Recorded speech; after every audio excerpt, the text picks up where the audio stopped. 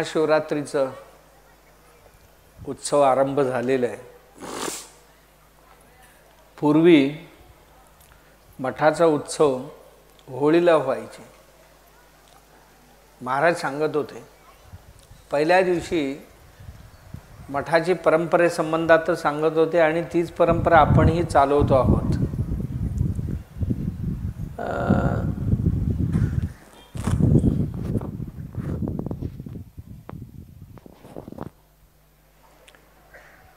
तर भरपूर साधू लोक येऊन खाली विहिरी आहेत ना केविकेच्या खाली. भंग्याची विहीर म्हणतात त्याला. भंग्याची विहीर. तिथे येऊन देशभरातले साधू तिथे मुक्काम ठोकलेले असणार तिथे धुनी पेटलेले असणार गांजा बिंजा सगळे क्षम्य आहे. ओढत बसलेले असणार. आणि मग मठाजींनी सकल वाद्य वैभवासहित जाऊन त्या सर्व साधू महात्म्यांची स्वागत करून त्यांना मठावर घेऊन यायचं आणि मग मठावरचा उत्सव आरंभ व्हायचा. तीन दिवसांचा. तो होळीच्या वेळी होता. नंतर स्वामी महाराजांना असं वाटलं की होळीचा सण सगळीकडे खूप चांगलं असते आणि विशेष करून कोकणात होळीचा सण म्हणजे खूप मोठा. गणपती आणि होळी हे दोन सण खूप मोठ्या प्रमाणात साजरे केले जातात. तर जास्त लोक त्यावेळी येणारी होती मुंबई आणि कोकणवासी तर त्या सगळ्यांची सोय व्हावं म्हणून बदलून होळीऐवजी महाशिवरात्रीला सप्ताह साजरा करायचं स्वामीजींनी ठरवलं आणि महाशिवरात्रीला उत्सव सुरू झाला. या मठाची परंपरा चौदाशेहून अधिक वर्षांची. कारण आत्ता उपलब्ध दाखला जे आहेत त्याच्यात स्पष्ट एकच दाखला भेटतो. तो दक्षिणेत पट्टदकल नावाचा गाव आहे. तिथे एक मंदिर सापडलं आहे उत्खननामध्ये. त्या मंदिराचं नाव काडसिद्धेश्वर मंदिर आहे. आणि त्या मंदिराची रचना राजा द्वितीय विक्रमादित्याने केलेली आहे. आणि अशी आख्यायिका आहे राजा द्वितीय विक्रमादित्य त्यांचा राज्य इथून सौराष्ट्रापर्यंत होता. म्हणजे उत्तर कारण कारण मी आपल्याला नेहमी म्हणत असतो घर चालू त्याला चालवतो त्याला घरचा यजमान म्हणतात. एक गाव चालवतो त्याला ग्रामाधिकारी म्हणतात. दहा गावचा वतन ज्याच्याकडे आहे त्याला नायक म्हणतात. शंभर गावांचं वतन ज्याच्याकडे आहे त्याला सामंत म्हणतात. हजार गावांचा वतन जो सांभाळतोय जमीन जो सांभाळतोय त्याला राजा म्हणतात. दहा हजार गाव सांभाळणाऱ्याला महाराजा म्हणतात महाराज म्हणतात.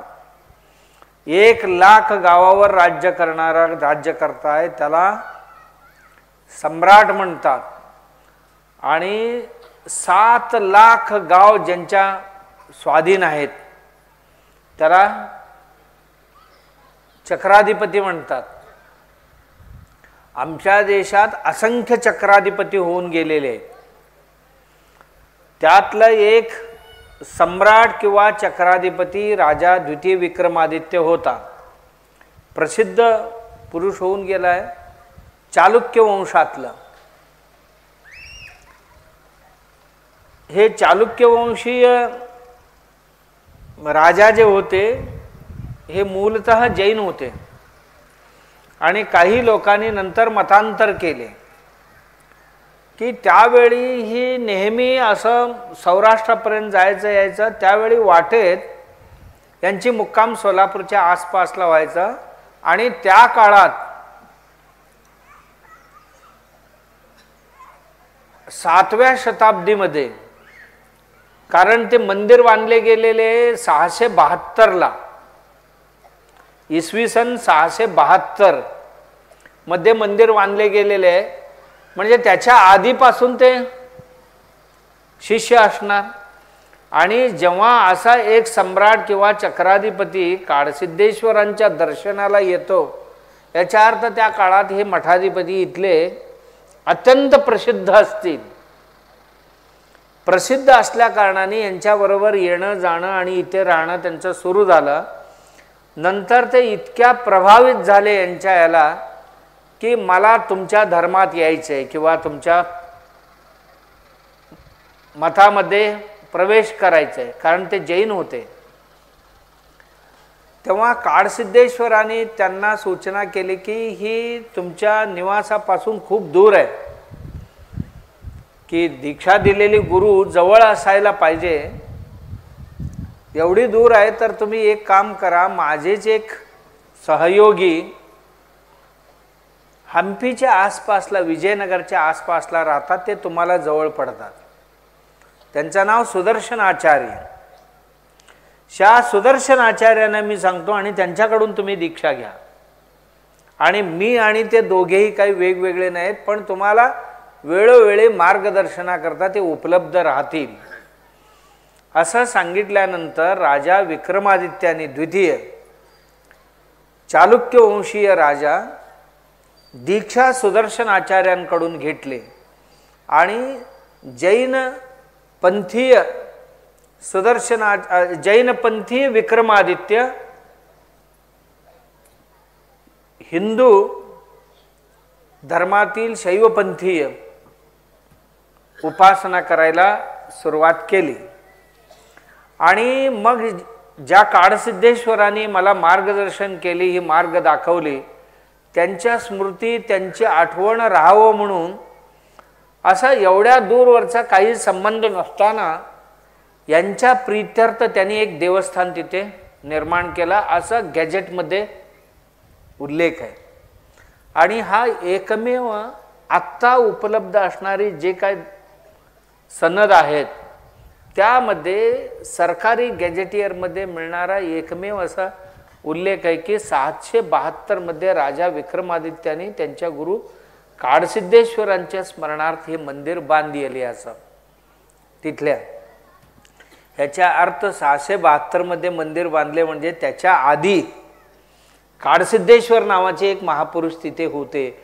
आणि के कितव्या नंबरचे होते माहीत नाही. आम्ही अंदाजे ते पहिलेच असं जरी मानलं तरी आत्ता असणारे एकोणपन्नासावे असतील असं या अंदाजाने एका माणसाला तीस वर्ष जरी धरलं तर एवढी वर्ष लागतात असं एक अंदाजाने आपण एक पुस्तक तयार केली आता. नाहीतर पूर्वी सव्वीसावे आपल्या स्वामीजींना आपण सव्वीसावे पीठाधीश्वर सव्वीसावे पीठाधीश्वर म्हणत होतो का? तर मठाची पीठ परंपरा किती जुनी आहे याची कुठलेही पुरावा मिळत नव्हते. कारण मठात जेवढी पुरावा होती ही पुरावा सगळी धारवाड युनिव्हर्सिटीचे इतिहास विभागाच्या लोकांनी स्वामीजी महाराजांकडनं घेऊन गेले. काही ताम्रपट होते. म्हणजे ही आदिलशाही काळात दिलेली होती. तत्पूर्वी छत्रपतींच्या काळात दिलेली पण होती आणि तत्पूर्वी पण दिलेली होती. म्हणजे चौदाव्या शतकात शिरसंगीचे देसाईनी ही तटबंदी वगैरे बांधलेले उल्लेख होती. आणि तत्पूर्वी कोणतरी मंदिराचा निर्माण केलेले उल्लेख वगैरे जे होते ते इतिहासकारांनी याचे संशोधन करतो म्हणून जे घेऊन गेले ते इतिहासकारही गेला आणि कागदपत्रही सगळे गायब झाले काही मिळत नव्हते. पण या मंदिराच्या शिल्पकलेवरून असं वाटतं की ही अत्यंत नागर शैली जे म्हणतो आपण एक दोन चार शैली आहेत. भारतीय शिल्पशैलींमध्ये एक तीन चार शैली आहेत. त्यात एक नागरशैली नावाचा एक प्रकार आहे.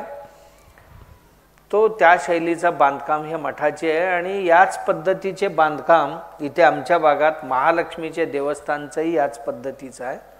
आणि याच पद्धतीचे असं एक पुरातन बांधकाम खोपेश्वर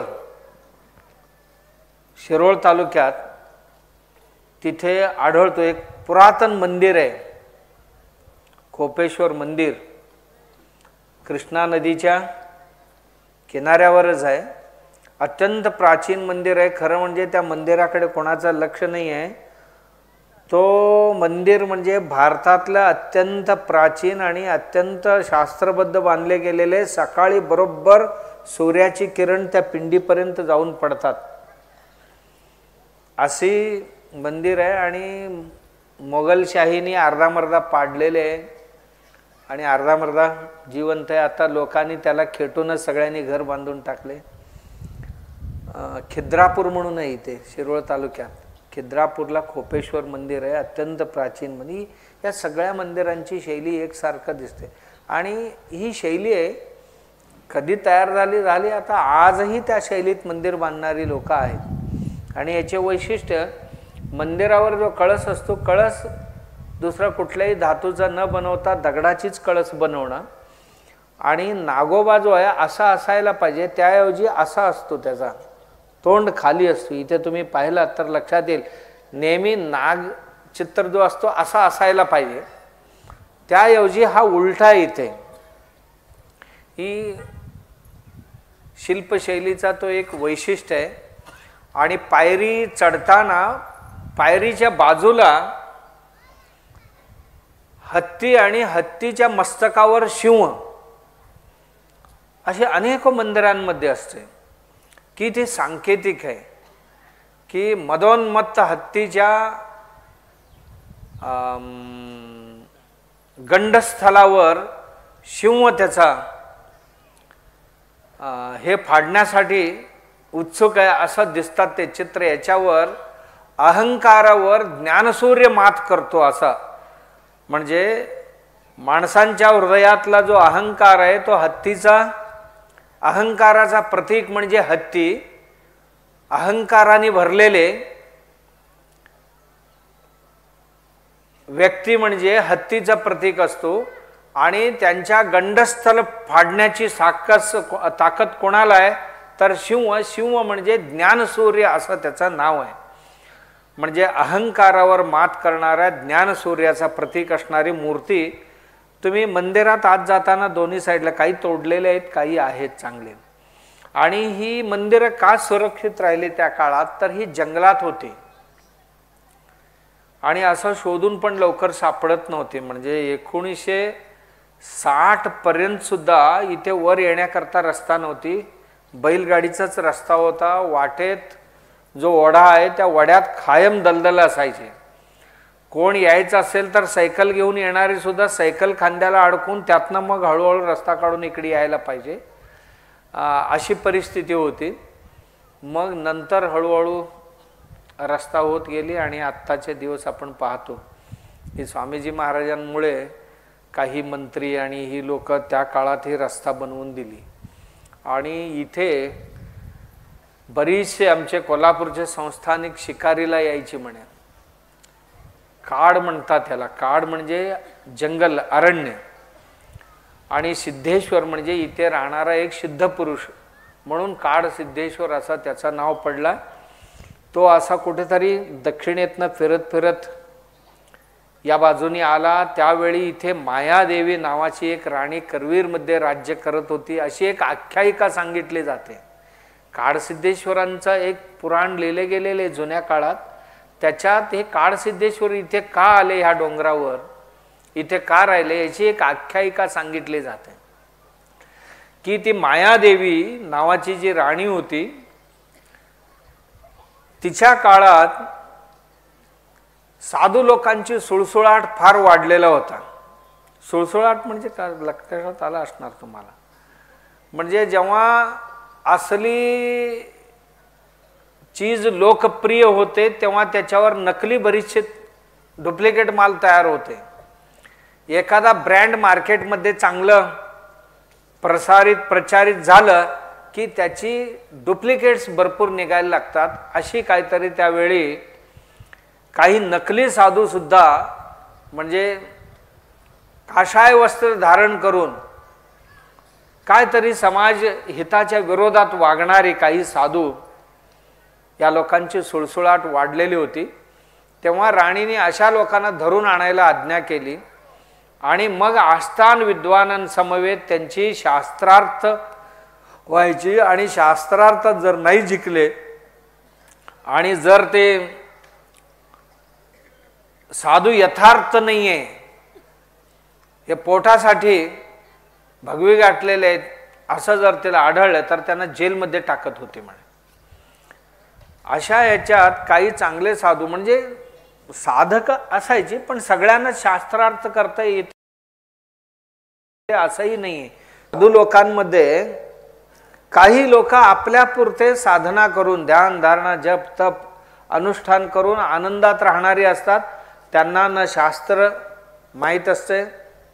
ना ते शास्त्रात कुठले पडत नाही कुठल्या रीतिरिवाजात पडत नाही कुठल्या सामाजिक एवेदाव्यात पडत नाही. आपण भला आपला कुठेर भला म्हणून अशी आपल्यापुरते राहणारी पण साधू असतात. असेही लोक त्यात भरडले गेले. त्या राणीच्या आदेशात हुकमाखाली. आणि काही चांगल्या चांगल्या साधू शास्त्रार्थ करणारी होते पण कधी कधी त्यांना असं हे केलं जात होता तू चमत्कार करतोस हे करतोस तर एवढं विष पिऊन दाखव असंही परीक्षा घेतली गेली. आणि अशी अनेको साधू जेलमध्ये आहेत चांगले माणसंही जेलमध्ये आहेत खराब लोकांबरोबर असं कळल्यानंतर अथणीजवळ एक गुंडेवाडी नावाचा गाव आहे. तिथला एक तरुण तपस्वी हिंडत हिंडत हिंडत या भागात आले. आणि त्यांना कळलं कळल्यानंतर ते स्वतः त्या राणीच्या आस्थानात गेले. जाऊन म्हणाले की या सगळ्या साधूंना तुम्ही डांबून ठेवलाय. सगळेच काय खराब नाही आहे काही लोक चांगले आहेत. खूप लोक चांगले आहेत आणि असं करणं योग्य नाही.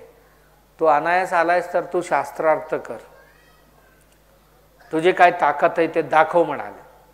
तेव्हा शास्त्रार्थ झाला. शास्त्रार्थ म्हणजे वाद.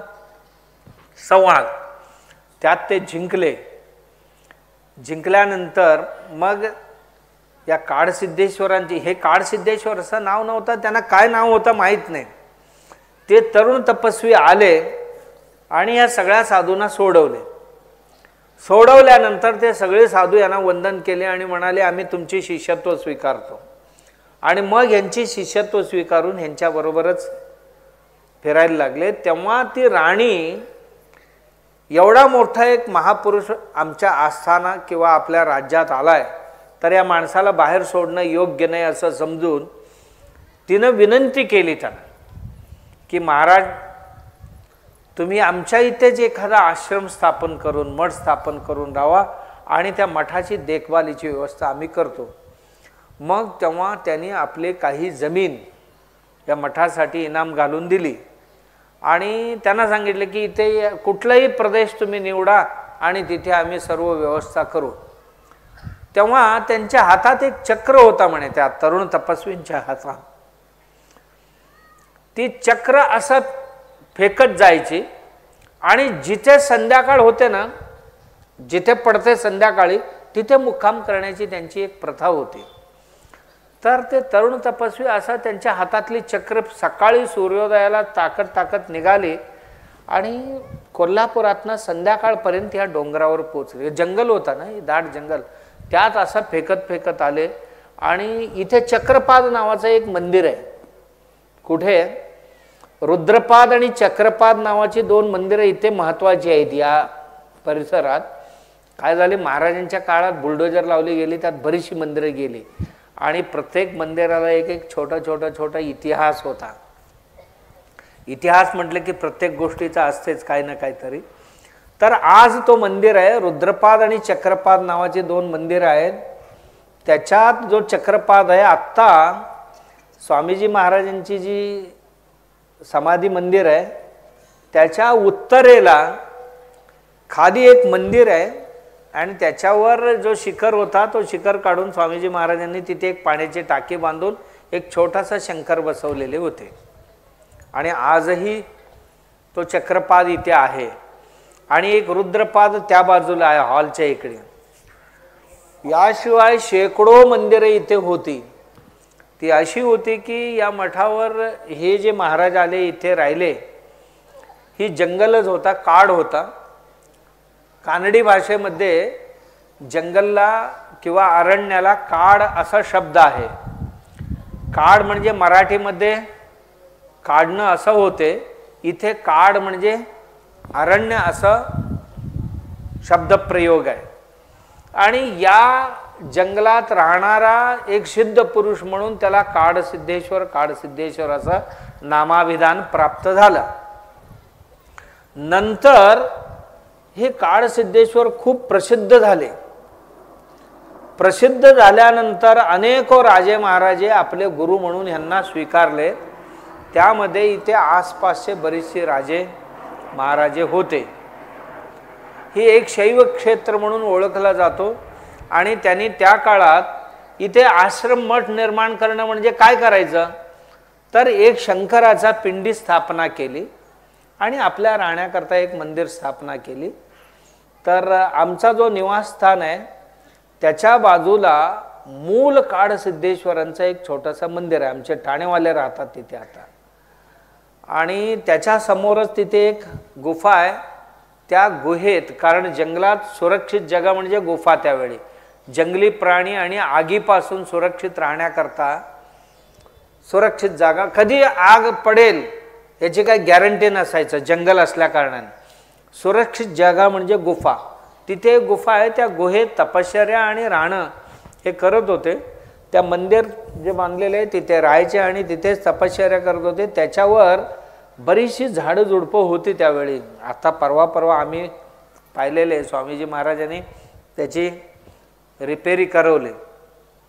आजही चाफ्याची झाड आहे. कडुलिंबाचा पण एक झाड होता मोठा. पिंपळ एक होता असं वाटतंय. तर तिथे उजव्या हाताला आत्ता मी जिथे राहतो त्याला मेरा साहेबांची मशीद असं नाव आहे. आणि तिथे सुद्धा एक गुफा आहे. त्या खोलीत सुद्धा मी राहतो. त्याच्याही आतमध्ये एक मोठं गुफा आहे. त्या गुहेतनं मंदिराच्या गाभाऱ्यापर्यंत येण्याकरता एक सुरंग मार्ग आहे. आम्ही थोडंसं उघडून आतपर्यंत गेलो होतो आणि पुढचं ढासळलेला होता. तो काय काढायचा आम्ही प्रयत्न नाही केला मग राहिला तो राहून गेला.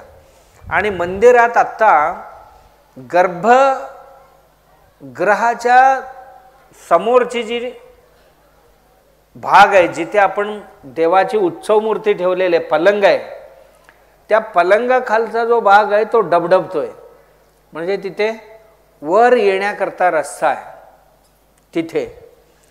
आणि असे ते फारसं लोकांना भेटत नसावं राहत्या ठिकाणापासून असं खालच्या खाली यायचं आणि देवाचे दर्शन घ्यायचं आणि परत जायचं. अशी राहत होते आणि ते पहिले काळ सिद्धेश्वर जे आद्य काळ सिद्धेश्वर जे होते असेच कुठे कुठेतरी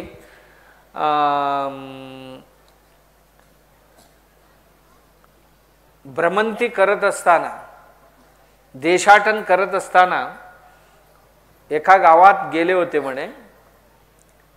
एक दंपती आले त्यांच्याकडे. बऱ्यापैकी चांगल्या घराण्यातलीच होते. त्यांनी त्यांची गाराणं मांडलं. आमच्याकडे सर्व आहे महाराज बाळ नाही आम्हाला आणि आपल्या कृपेने एक मुलगा व्हावं. तर ह्यांनी त्यांना दोन फळं दिली म्हणे आणि सांगितलं दोन मुलं होतील तुम्हाला किती पाहिजे? ते म्हणाले आम्हाला एक झाले तरी पुरेसे मग दोन होतील एक देणार का मला परत? ते म्हणाले देऊ ना. काम होईपर्यंत म्हणायला काय बिघडलं? देऊ म्हणाले. मग नंतर दैवयोगाने त्यांना दोन मुलं झाले.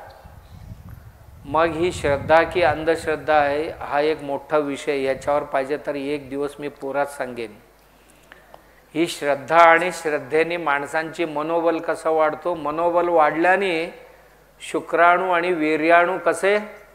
अधिक काळ जिवंत राहतात आणि मग नंतर ते गर्भ राहण्यामध्ये कसं सहायता मिळतंय याच्याकरता अनेको मानसशास्त्रज्ञांची खूप सारे मानसशास्त्रज्ञांची दाखला आहे मी त्या मानसशास्त्रसुद्धा वाचलेले का? याला कोणतरी उद्या आव्हान केला तर त्याच्याकरता पुरावा असावा म्हणून. ही अंधश्रद्धा बिंधश्रद्धा काय असतात ना ते श्रद्धा निर्मूलन समितीच आहे ते अंधश्रद्धा नाही आहे श्रद्धा निर्मूलन समितीच आहेत. हां. कारण त्यांना फक्त हिंदूंची सणच दिसतात. हिंदूंची साधूच दिसतात. दुसरे कोणी दिसतच नाही. म्हणून त्यांच्या हेतूवर संशय घेण्यास जागा आहे. असो त्या भानगडीत नको पडायला. जेव्हा गरज पडेल तेव्हा पडू आपण. तर त्यांना दोन मुलं झाले. आणि नंतर परत पाच सहा वर्षांनी त्या गावात सात आठ वर्षांनी त्या गावात गेले. हे महाराज इथली. त्यांना वाटलं की आपण आता हे महाराज आपल्या घरी येणार दोन झालेत म्हटले की एक नेतील म्हणून एकाला झाकून ठेवलं. आणि महाराज तुमच्या कृपेने बाळ बराई म्हणाली ही एकच आहे. एकच आहे? बर सुखी राहू दे एकच सुखी राहू दे म्हणाले. एक सुखी राहू द्या म्हटल्यानंतर दुसरं कसं सुखी राहणार ते? दुसरं महाराज निघून गेले पण त्याला ताप आले ते उतरे ना त्यांना वाटले की ही जगत नाही त्यापेक्षा त्या महाराजांना जाऊन देऊन टाकलेले बरं.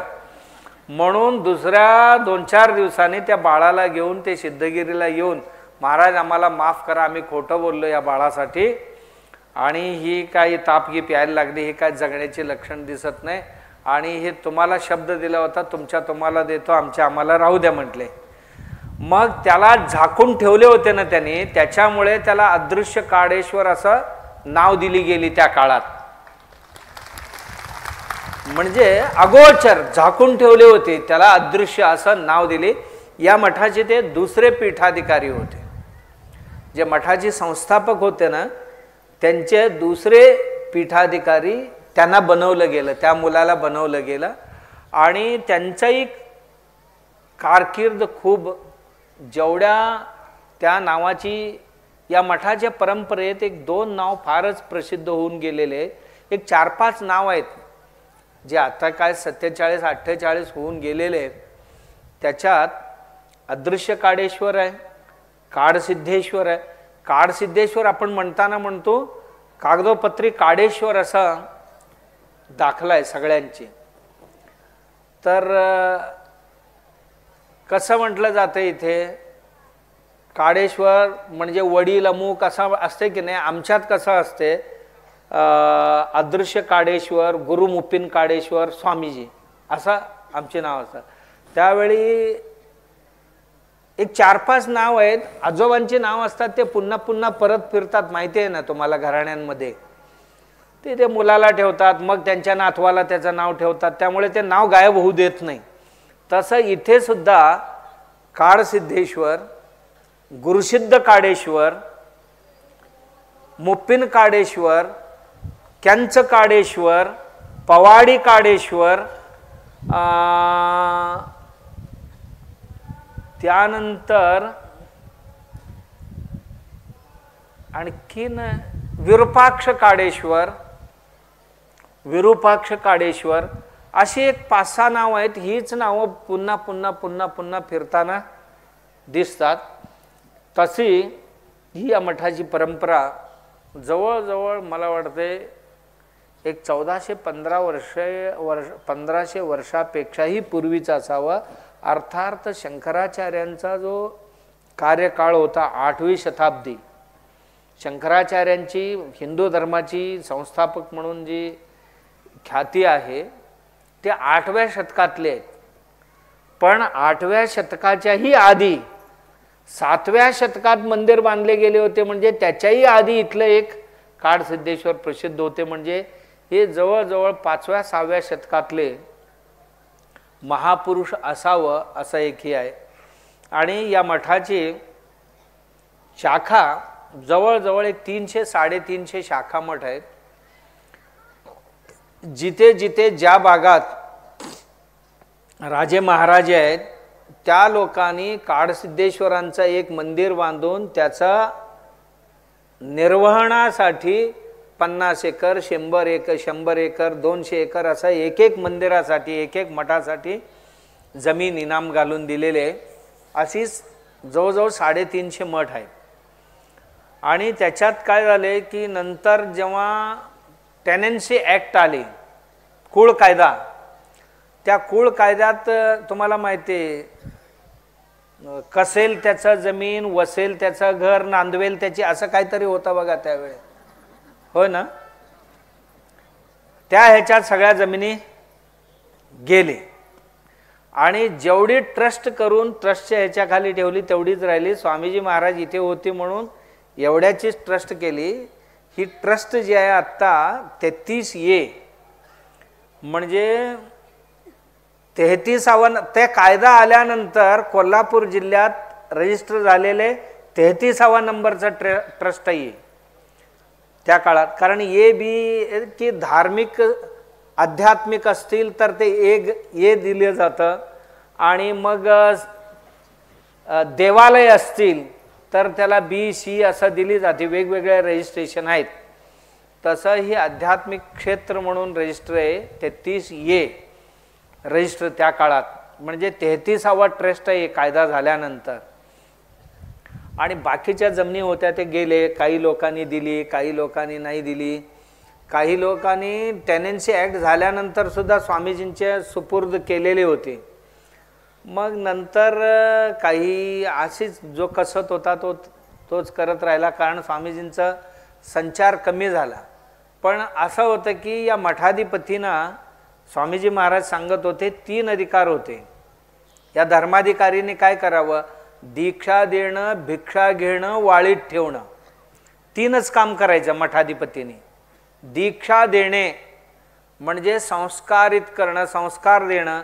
जे भक्त लोक आहेत जिथे बोलवतील किंवा पारंपरिक भक्त जे आहेत मठाचे त्यांच्या गावी जाणं तिथे मुक्काम करणं आणि दीक्षा देणं त्यांना दीक्षा देऊन त्यांना संस्कारित करणं त्यांना उपदेश करणं सन्मार्गाला चालण्यास प्रेरित करणं हे त्यांचं काम. भिक्षा घेणं ते जे देतील भिक्षा ते घेऊन यायचं आणि हे मठाचा चरितार्थ चालवायचा. तिसरं वाळीत ठेवणं.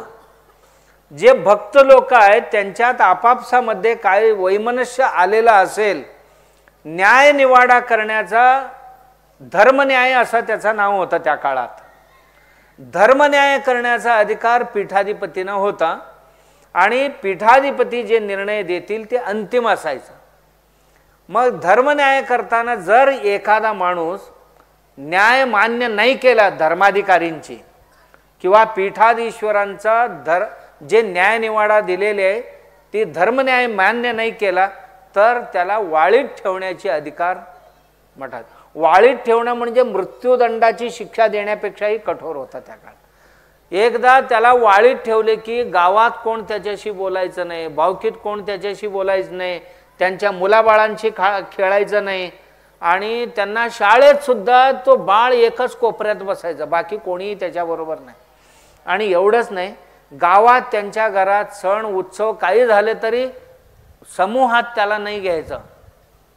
बाजूला त्यांना कोणी काही देणार नाही आणि त्यांच्या हातून कोण पाणीसुद्धा पिणार नाही तो मरतो म्हटला तरी त्याला कोणी पाणीसुद्धा देणार. इतकं वाईट शिक्षा दुसरं कुठली नसावं वाळीत ठेवणं. आणि त्यांना रोटी बेटी व्यवहार करत असताना ते अत्यंत कठीण जायचं का?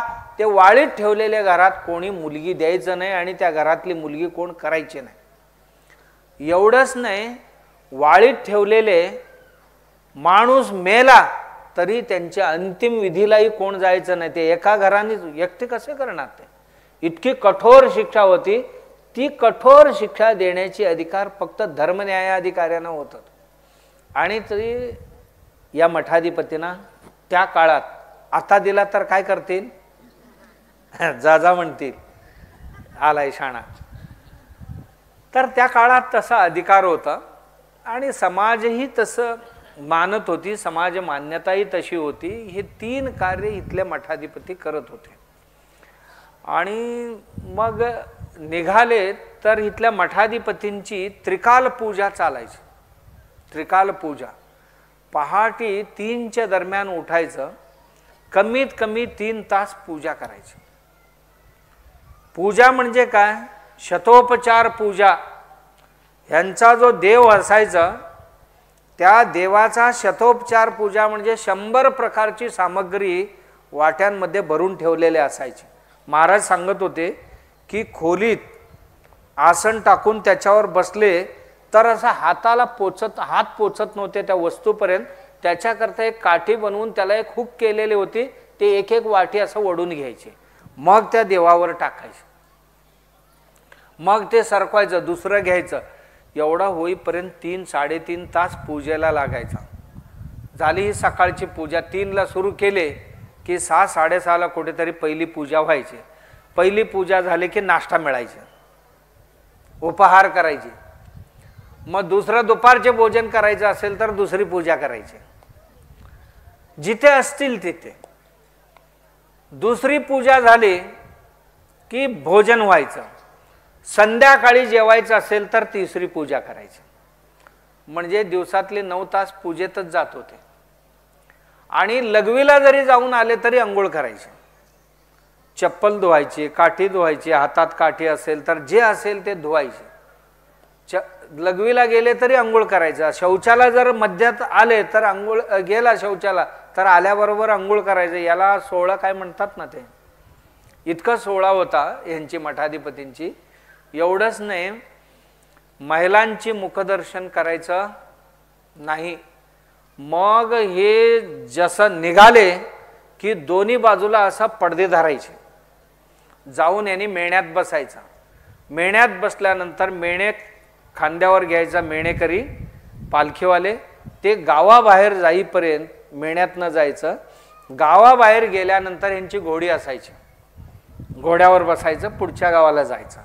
यांच्याबरोबर एक सरंजाम जसा राजा महाराजांबरोबर सरंजाम असायचा. पट्टेवाले घोडेवाले पूजावाले वेगळे घंटी वाजवणारी वेगळी शंख वाजवणारी वेगळी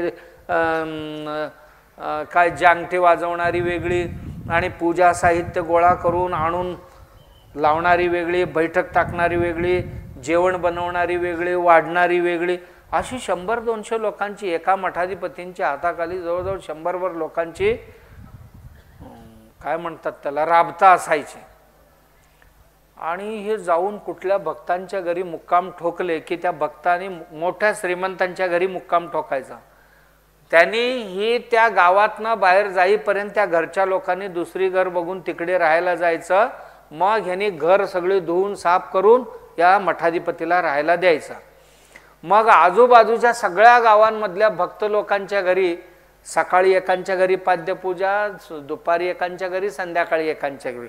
तीन घरात तीन पूजा व्हायला पाहिजे.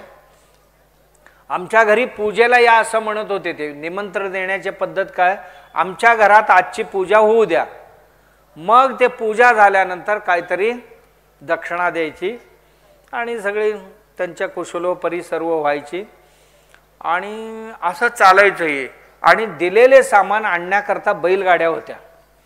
मग त्या बैल जर वाटेत काय दगावलं मेलं विलं तर आमच्याकडे रेकॉर्ड आहेत आत्ता. त्या रेकॉर्डमध्ये मोडीमध्ये आहेत. त्यात लिहिलेले अमुक अमुक गावी महाराजांची मुक्काम असताना तिथे बैल मेला आणि सहा पैशाला बैल घेण्यात आलं. किती? सहा पैशाला आठ पैशाला चौला दोन आण्याला एक आण्याला बैल घेण्यात आले असा अनेक उल्लेख आजही आहेत आमच्या दप्तरी. मोडी याच्यात पडलेले आहेत. आहेत बरीचशी. सहा पैशेला बारा पैशाला आठ पैशेला बैल घेतलेले आहेत त्यावेळी.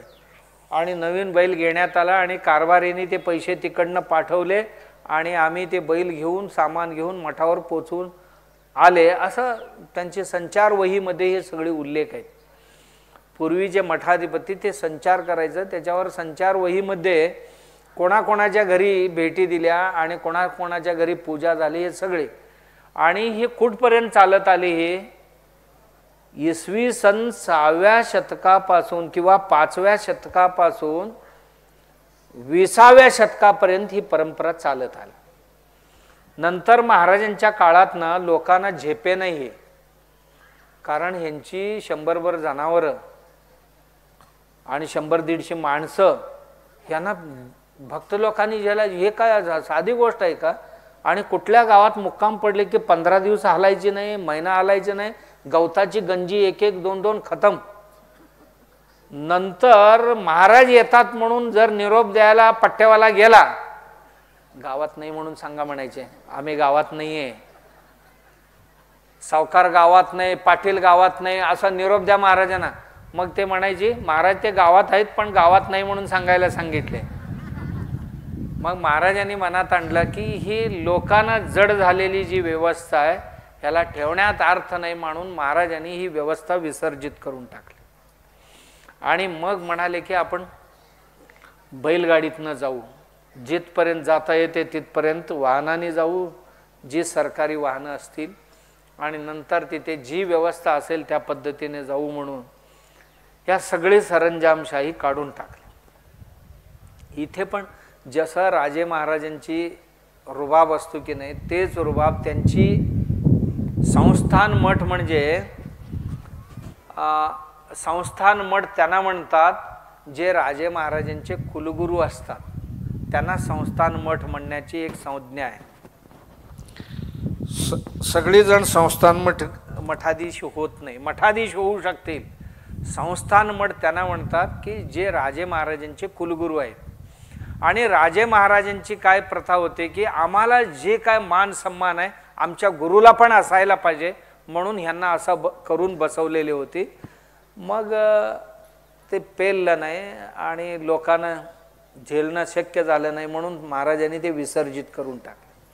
आणि सामान्यांसारखं राहायचं ठरवलं. तेव्हापासून मठाच्या इतिहासात एक मोठी क्रांती घडली. आणि याशिवाय मठाची परंपरेत खूप साऱ्या गोष्टी सांगण्यासारख्या आहेत. आणि काही वेळ पडल्या संध्याकाळी सांगतो ना अजून खूप सारे आहेत. मी वर्षातनं एकदा का बोलतो या गोष्टी? काही नवीन मंडळी आमच्यात आलेले आहेत आत्ता होय ना? वर्षभराच्या कालावधीत ओळखी पाळखी झाली नवीन दीक्षा ग्रहण केलेले आहेत. पहिल्यांदा आलेत दुसऱ्यांदा आलेत. आणि जुन्या माणसांची सुद्धा माणसांचं एक सगळ्यात आवडचा स्वभाव म्हणजे विसराळूपणा. सहज विसरून जायचं. आता एवढं सांगितलं की नाही पुढच्या वर्षी आला तर हां कुठेतरी ऐकल्यासारखं वाटत होतं. असं म्हणतात. बहुतेक गेल्या वेळी बोलले होते वाटते. बहुतेक का ते लक्षात राहत नाही. म्हणून आम्ही पण बिनकंटाळता दरवर्षी त्याच त्याच त्याच त्याच गोष्टी सांगतो. तुम्हाला ते नवीनच वाटते कारण तुम्ही ते घरातच ठेवून आलेले असता की नाही? त्यामुळे ते नवीनच वाटते असं हा असा हा मठाची परंपरा आहे. मग ही मठाची परंपरा संन्याशी परंपरा आहे. संन्याशांमध्ये दोन संन्याशी आहेत. एक संन्याशी गृहस्थ आश्रमातनं येणारी आणि एक सं संन्यासी ब्रह्मचार्य आश्रमातनं आणा येणारे त्यांना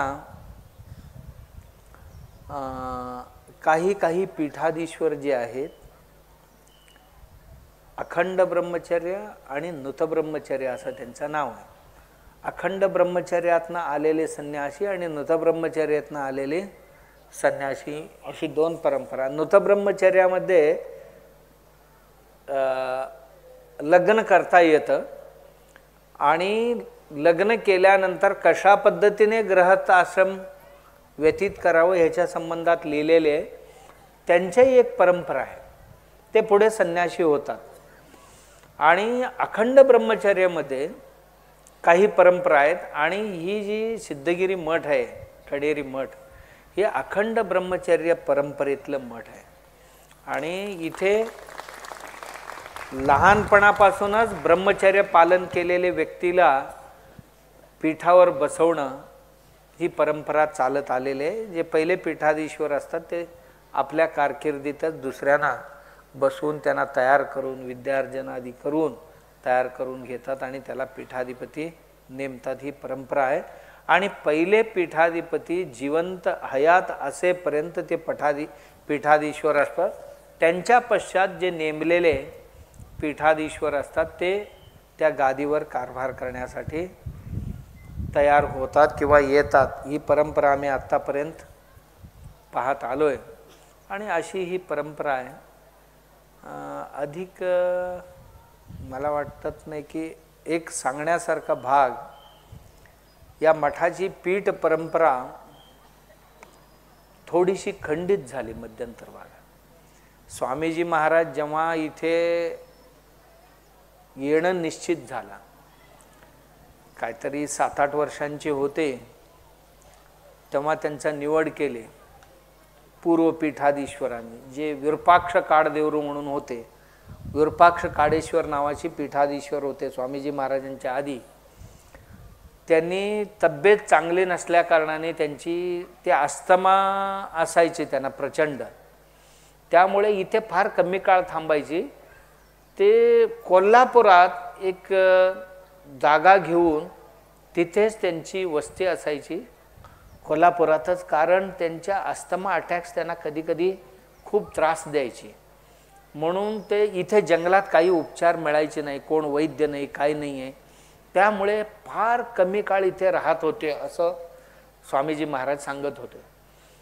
मग त्यांनी ह्यांना दत्तक घ्यायचं असं ठरवलं. आणि यांची उत्तराधिकार करण्यापूर्वीच त्यांचं निर्वाण झाला. ते दैवाधीन झाले. झाल्यानंतर मग इतर भक्तमंडळींनी आणून यांना इथे घेऊन आले आणि इथे करायचं संकल्प सोडला.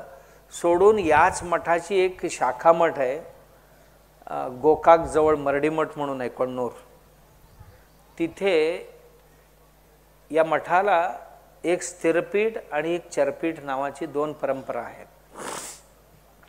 हे सिद्धगिरी स्थिरपीठ आहे. ह्याची तीन चरपीठ आहेत. यांच्या हाताखाली तीन पीठाधीश्वर संचारामध्ये ह्यांना मदत करत होते. ते येडूर गुंडेवाडी आणि कण्णूर मर्डीमठ अशी तीन चरपीठ होते. त्यातलेच एक चरपीठाधीश्वर होते याच मठाची मग आता इथले पीठाधीश्वर नाही तर यांना शिक्षण कुठे द्यायचं? म्हणून त्यांच्याकडे नेऊन यांना ठेवले स्वामीजी महाराजांना. स्वामीजी महाराज तिथे राहिले आणि ते मठाधीश्वर त्याच अवधीत तेही तरुण वयात होती. त्यांनी तो मठ त्याग करून हुबळीचं एक मूर सावीर मठ नावाचं एक मोठ्या संस्थानांची दुसऱ्या मठाला पीठाधीश्वर झाले आणि तिथे स्वामीजी महाराजांना घेऊन गेले. आणि बरीच वर्ष स्वामीजी महाराज त्यांच्याकडे राहिले. पूजा अर्चना ज्योतिष्य मंत्रशास्त्र तंत्रशास्त्र हे शिकले. आणि शिवयोगाची सर्व धडे तिथे घेतले. आगमशास्त्र पूर्णतया शिकले. मग इथे येऊन स्वामी महाराजांच्या सोळाव्या वर्षी पीठाधीश्वर म्हणून त्यांची पीठारोहण झाला. झाल्यानंतर जी काय त्यांना तिथे शिक्षण मिळालेले होती त्यात ते काय संतुष्ट नव्हते. म्हणून ते म्हणत होते की मला समाधान नाही आहे कारण ते असं पूजेला गेले की भक्त लोक ना बसून असं पूजा कर इतक्या भक्तिभावाने त्यांची पाद्यपूजा करत होते. स्वामी महाराज आम्हाला म्हणत होते की काही काही देसाई म्हणून कण्णूरला देसाई जमखंडीजवळ ते देसाईण बाई होती म्हातारी. ती एकशे एक सोन्याची चाफ्याची फुलं बनवून घेतली होती म्हणे. एकशे एक फुलं वाहत होत. संस्थानिक होते ते. आणि तासभर पाद्यपूजा करायची ती. तर स्वामी महाराज म्हणायचे की मुंग्या यायच्या आमच्या पायात इथे. एवढा वेळ बसून बसून. पण ती कंटाळायची नाही. इतक्या भक्तिभावाने आमची ही पूजा करतात का? की आपल्याला सुख समाधान भेटावं म्हणून. हे महाराज आम्हाला सुख समाधान द्यावं म्हणून आमची पूजा करतात. आणि मीच सुखी नाही तर ह्यांना कुठलं सुख द्यायचं? मी समाधान द्यायचं. मीच समाधानी नाही आहे तर ह्यांना समाधान कुठलं देऊ? असा स्वामीजी महाराजांच्या डोक्यात प्रश्न पडला. म्हणून ते योग्य गुरूंच्या शोधात होते. येथील त्या तज्ज्ञ माणसाला विचारत होते की मला एक गुरु करायचं आहे ज्ञानासाठी. असे योग्य गुरु कोण भेटतील का? मग एक कर्नाटकातनं आलेला माणूस होता तो म्हणाला की असं असं इंचगिरी नावाचं एक स्थान आहे तिथे सिद्धरामेश्वर नावाची एक महाराज आहेत. ते अत्यंत योग्य गुरु आहेत. आणि तिथे आणखीन दोन चार माणसंही आहेत ते चांगले ज्ञानी पुरुष आहेत तुम्ही बघा पाहिजे तर. मग हे गेले. गेल्यानंतर तिथे बरीचशी माणसं भेटली. जसं की आमचे ताराचंद गुरुजींचे गुरुजी होते गणपतराव महाराज होते आणि येडू ह्याचे कन्नूरचे जे एक सिद्धलिंगेश्वर महाराज म्हणून होते आणि दुसरे एक गुरुपादेश्वर महाराज म्हणून होते. मग तर रघुनाथप्रिय म्हणून होते. असा बरीचशी महाराज लोक भाऊसाहेब महाराजांची शिष्यत्व स्वीकारलेली मंडळी तिथे सेवा करत गुरूंच्या ठिकाणी साधना करत राहिलेली होती. त्यात स्वामी महाराजांना आवडले सिद्धरामेश्वर महाराज. ते सिगारेट ओढत होते त्यावेळी. एक तर ग्रहस्थ होते आणि सिद्धरामेश्वर महाराजांना महिला आंघोळ घालत होत्या. तर हे बघितल्यानंतर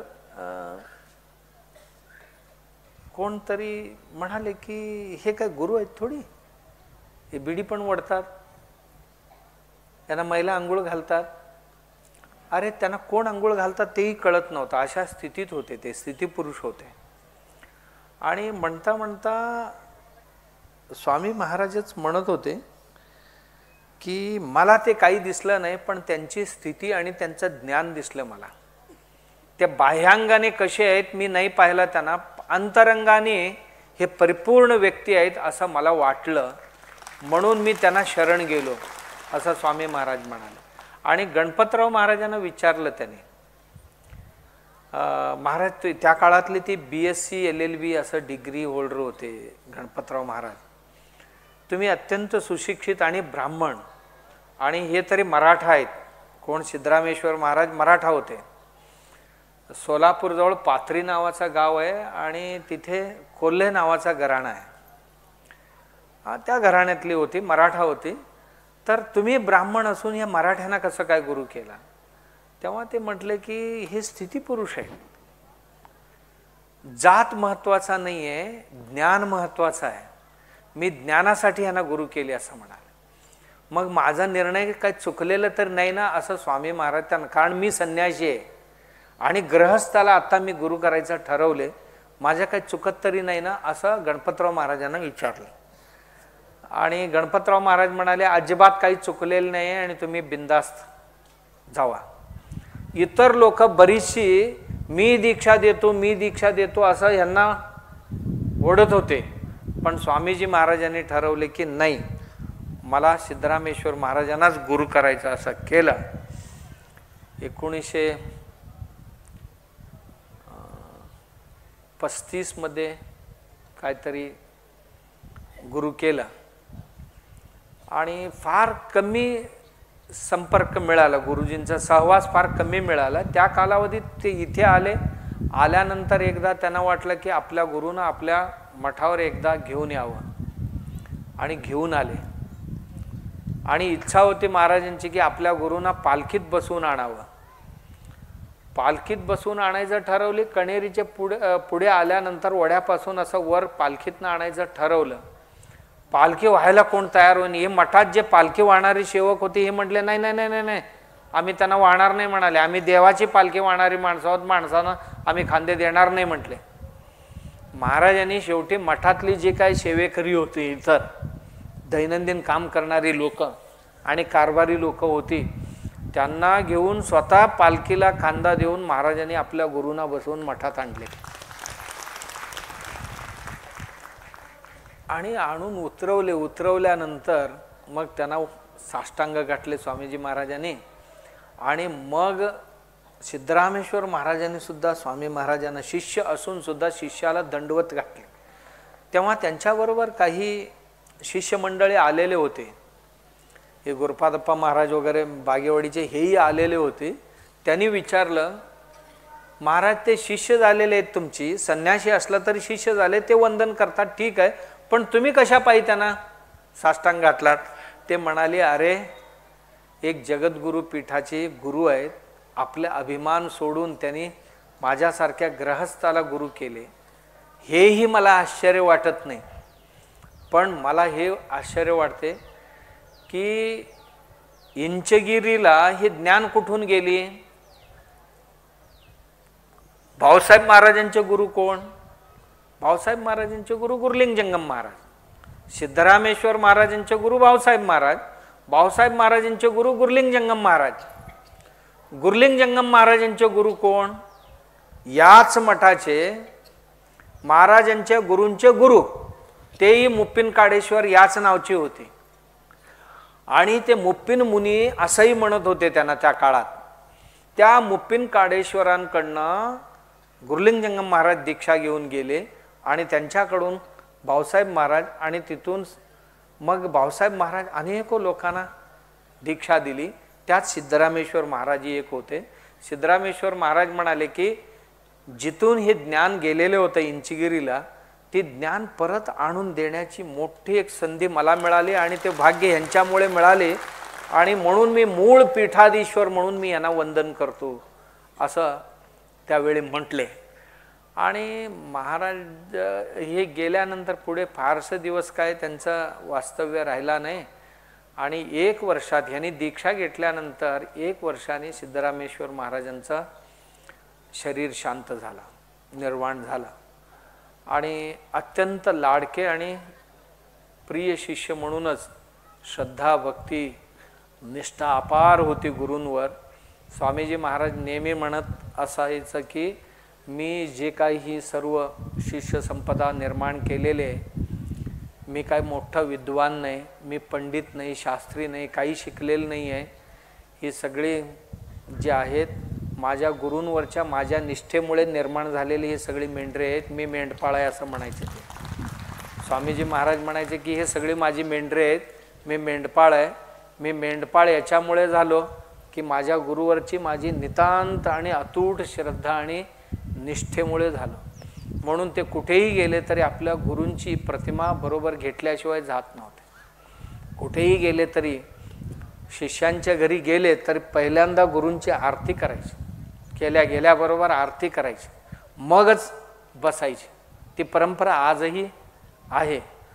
अशी ही मठाची परंपरा चालत आली.